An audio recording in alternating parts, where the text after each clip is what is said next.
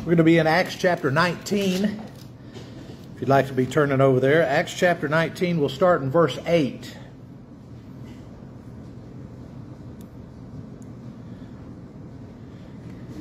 We have a bit of an introduction that will seem like a sermon.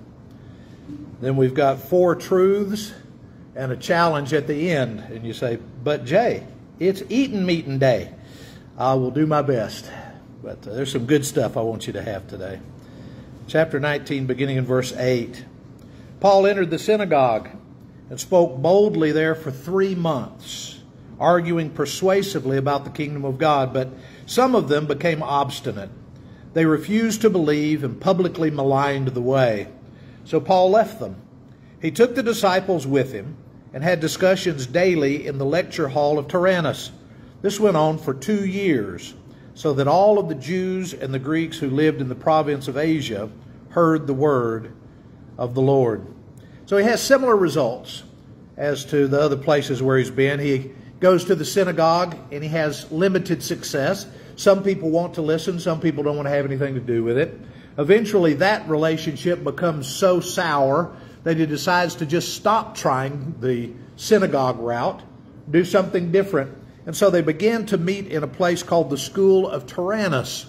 Now, in those days, when you think school, don't think uh, four walls and people meeting inside. They were typically large sets of steps, porticos, and people would gather together in those places, and a particular teacher or a group of teachers would have their disciples there, and they would teach them the things they wanted them to know. It was more open air type of school.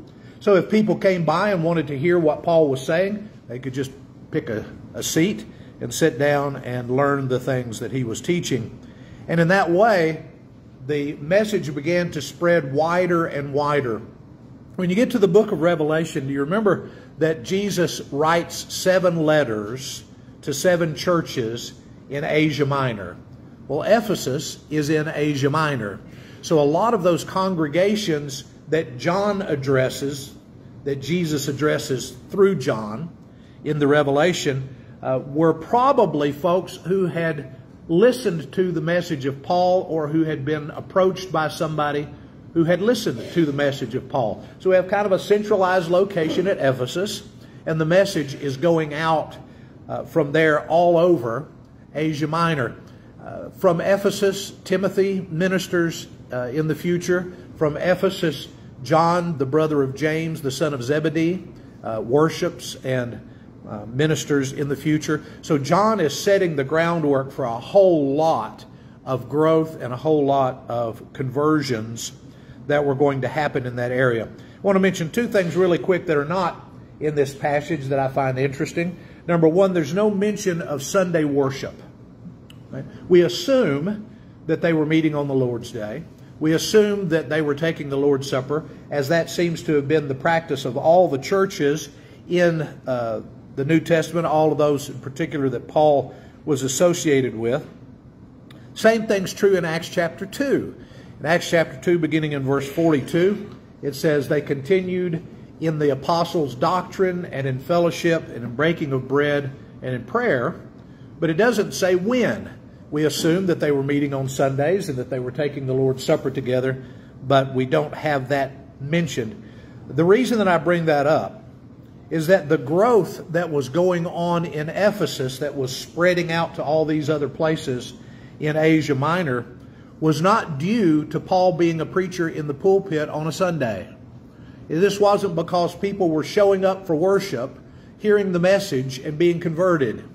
Most of the people converted in the New Testament, most of the people that are converted that I've ever been around in my life are not converted in church. They're converted outside of the walls of this building. They're converted by the lives of people who get them interested and then tell them about the gospel. It's not about church as far as reaching out to the lost. Paul was in a place that was accessible. People could come to him where he was, and so he taught, and those that he taught went out and taught as well. So we don't see any mention of the local assembly on Sunday, but we're sure that that was going on as well. The other thing that's interesting to me is that this group is never known as the Church of Christ. What's their name? They're the way. We run across that all through Luke's writings and Acts, uh, especially early on. Paul goes out because he's persecuting members of the way. Well, here he's on the other side of the persecution. He is uh, teaching the people in Ephesus, and there are people who are maligning the way. They're speaking evil about the work that Paul is doing. The term the way is used far more often in the New Testament to refer to the church than is the term Church of Christ. Do you like the term Church of Christ? I do. I think it's pretty descriptive of who we're trying to be. We are the church that belongs to Christ. Uh, Paul uses that description in Romans, and so it's a good New Testament reference. But understand, it, the name does not make us who we are. We make the name what it is. We are disciples that follow Jesus. We are the church that belongs to Christ. And so it's a descriptive term on the sign to help people understand who we are and who we're trying to be. But we also are members of the way. We're following the way, the truth, the life. So, Well, I got to wondering if this was just a Luke thing. Is it only in Acts where the church is referred to this way? So I reached out to some of my preacher friends who know stuff, and one of them wrote back and said, check 2 Peter chapter 2. So if you will, run over there. 2 Peter chapter 2, beginning in verse 1. Peter says, There were also false prophets among the people, just as there will be false teachers among you. They will secretly introduce destructive heresies, even denying the sovereign Lord who bought them, bringing swift destruction on themselves. Many will follow their depraved conduct and will bring the way of truth into disrepute. So it seems that Peter used terms like that to refer to us as well. We are members of the way. We are members of the church that belongs to Christ. We are members following the way of truth. So all of those things uh, apply to us as well. All right. Well, that's your introduction. Now let's move on to four uh, quick truths, and we'll end with a little take-home assignment, beginning in chapter 19 and verse 11. Acts chapter 19, verse 11. God did extraordinary miracles through Paul, so that even handkerchiefs and aprons that had touched him were taken to the sick, and their illnesses were cured, and the evil spirits left them. Some Jews who went around driving out evil spirits tried to invoke the name of the Lord Jesus over those who were demon possessed.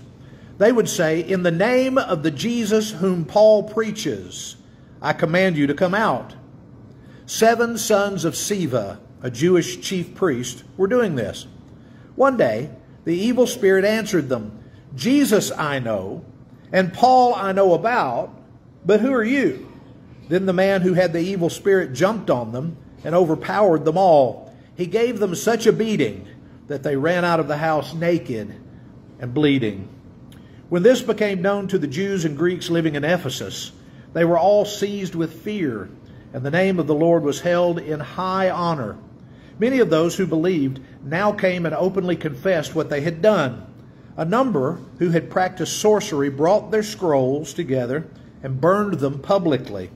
When they calculated the value of the scrolls, the total came to 50,000 drachmas. In this way, the word of the Lord spread widely and grew greatly in power. All right, truth number one. These guys who were trying to cast out demons in the name of Jesus, whom Paul preaches, the problem was not with Paul. Right? Paul was casting out demons himself, had done so, and he did so in the name of this Jesus that he preached. And Paul was not the problem. Think about the demon possessed girl at Philippi. Right? She's following them around from place to place. And she keeps saying, These are servants of the Most High God, and they're here to show you the way of salvation. Finally, Paul has all of that he wants, and he turns around and he casts the demon out of the girl. Could Paul cast out demons? Absolutely. Paul did it more than once. It was something that he was capable of doing. The problem in this scenario is definitely not Paul.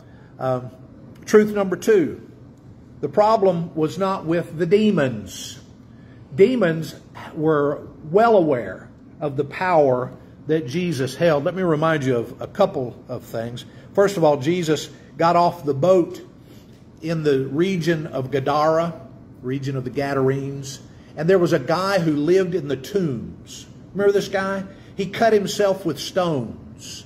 They would tie him up to try to keep him out of people's way, to keep him from hurting himself or anybody else, and he would just break the things that they tied him with, and he would be right back out there the next day. Jesus gets off the boat, and the man comes running out of the tombs, and the man addresses Jesus. What do we have to do with you, Jesus, you Son of the Most High God? Have you come to torture us before it's time? That's a pretty good introduction, isn't it? His disciples at that point had never said, You're the Christ, the Son of the living God. The first being to name Jesus as the Son of the living God in the New Testament is a bunch of demons living in a crazy guy that lives in the tombs. They knew exactly who Jesus was. So when these seven sons of Sceva said, I want to cast you out in the name of Jesus, the one that Paul preaches, the demons knew who Jesus was. He wasn't the problem. Paul, they had heard of. They were probably a little sketchy on Paul because they were afraid he might come around because he preached Jesus. So Jesus we know, and Paul we know, but who are you?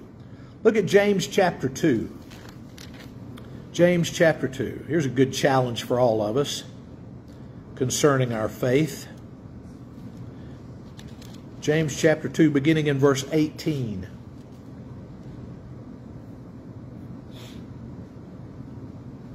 Someone will say, You have faith, and I have deeds.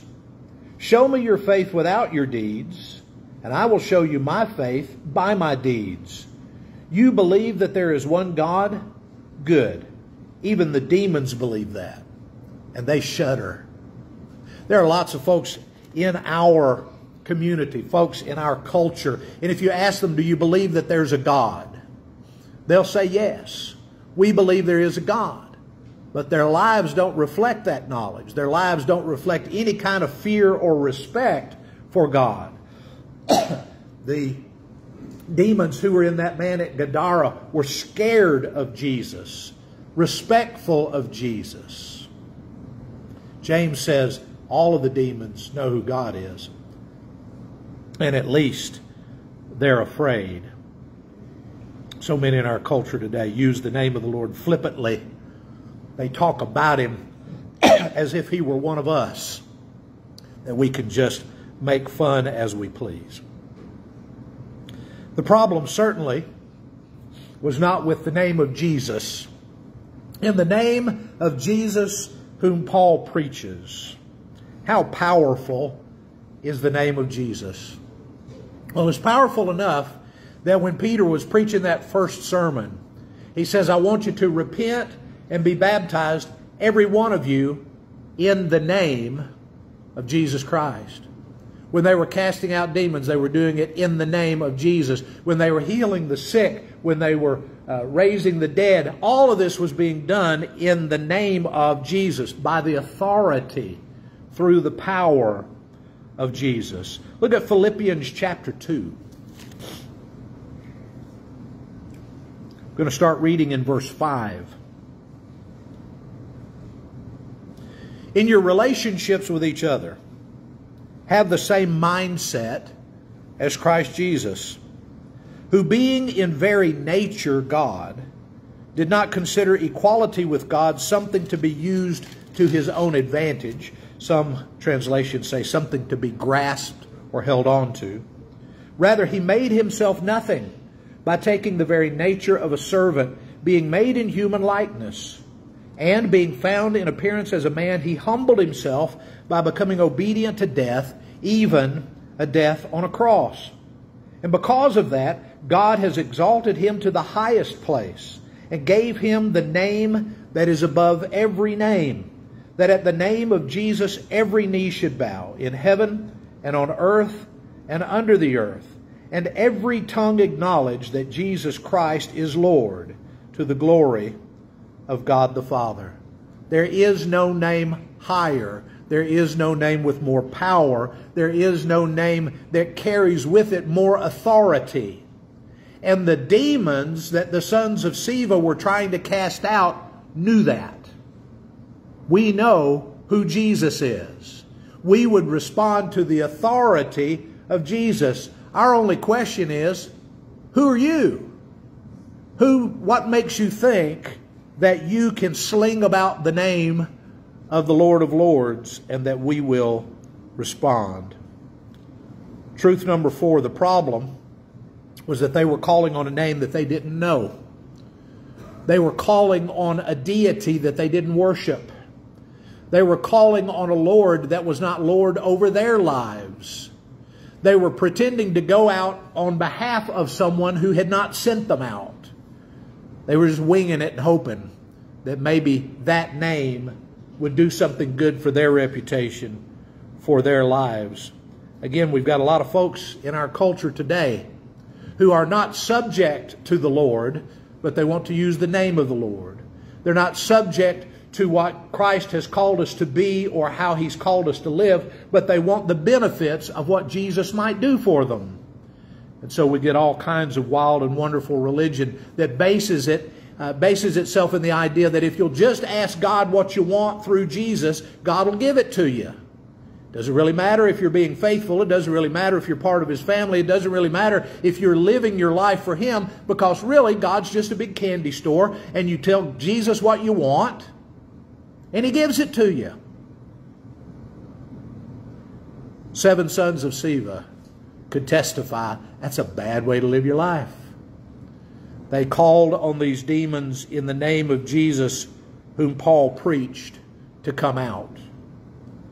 And in response, the demon possessed individual jumped on them, beat them up, and sent them home naked and wounded. One demon possessed guy, seven sons of Sceva. You might have liked their odds at the beginning of the fight, but by the time it was over, the demon possessed man had absolutely wreaked havoc on their lives. And they became the jumping off point for changes in other people's lives who were living a little bit like they were. Did you notice that there was a book burning I bet Beth cringed when we read that. Book burnings are not her favorite thing. Uh, they brought together the scrolls that they had gathered together on the dark arts and they burned them. And they took, and, and uh, the amount that they were worth was in today's money somewhere around $3.5 million worth of literature that they burned in that bonfire because they didn't want to have anything to do with demonology. They didn't want to have anything to do with the dark arts anymore. They wanted to know about Jesus. So God takes this horrible thing that happens to the sons of Sceva and turns it to the advantage of the way. He turns it to the advantage of Paul and the truth tellers that were in Ephesus at the time. So here's our take home. Make sure that your faith is your own. Not your mama's faith, not your daddy's faith, not grandma and grandpa, not the preacher, not the elders, not your Bible class teacher, not your friend down the street. Make sure that your faith is your own. That when you call on God in the name of Jesus Christ, that He's your Lord, your Savior, your Master, not somebody else's. There's a difference in how Jesus uses his authority in his family and outside his family. And there will come a time when we enter into judgment when it'll make all the difference in eternity whether he is our Savior or just someone else's. Don't rely on the Jesus that someone else preaches you own a New Testament. If you don't, I've got spares. Read about Jesus for yourself. If you have questions, ask somebody. There are other people who have like faith and who maybe have a little more knowledge about Scripture, who maybe have studied that passage before. Maybe they've been walking with Christ for longer. Maybe they have stories they can tell. Maybe they have uh, examples they can share. But make sure that your faith is based on what you know, not just on what somebody else says is true. Again, in our culture, there are lots of experts on Scripture they say a lot of different things. Know Scripture. And then allow someone else to assist you, but don't let them be the only voice in your head when you think about your Savior. Seek Jesus for yourself. And if we can help you do that, we want to. It may be that this morning you're here and you've been seeking and you've been finding things about Jesus that you like. There's a lot to love about Jesus. And maybe you've decided you need to change where you've been and move in a different direction in your life. We can help you with that. If you have questions, we can help you find the answers in Scripture. If you know what you need and you want help doing it today, if you want to put Him on in baptism, if you need the prayers of the church on your behalf, just let us know what it is that we can do to help you make sure that Jesus is the Lord of your life, and we will do everything we can to help you.